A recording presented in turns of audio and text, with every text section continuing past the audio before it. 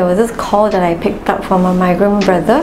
When the call came in, what he first said was really, hello, uh, pain, pain. Having the migrant brothers know about the crisis helpline being available 24 7 is really very important to them because they can reach us anytime in the day or in the night so that they know that someone is there to listen to their problems. Hi, I'm May. I'm the crisis helpline team leader in HealthServe. Hi, I'm Madeline. I'm a crisis helpline volunteer at HealthServe.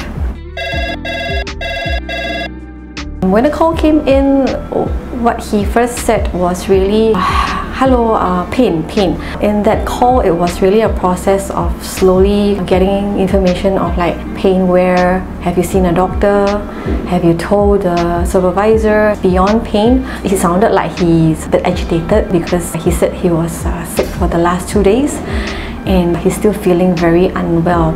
I was also a bit like, okay, what do I do next? But what's really helpful is because HealthServe, we have this group chat whenever you are on duty that you could immediately ask, okay, what do I say next? Or you could get assistance.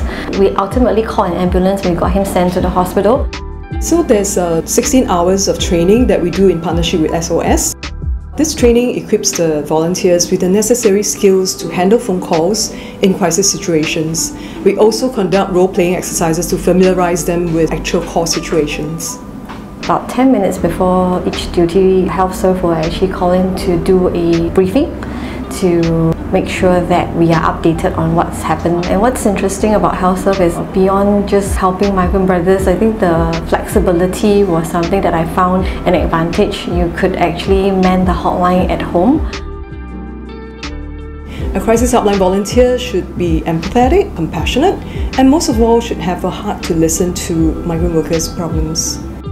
Volunteers really form the backbone of what HealthServe is doing, so having volunteers available to come alongside the Crisis Helpline staff team to do this 24 7, it's really very significant. If you have a heart for the migrant worker community and you have at least four hours to spare in a month, you can volunteer with us in the comforts of your own home. So come volunteer with our Crisis Helpline team.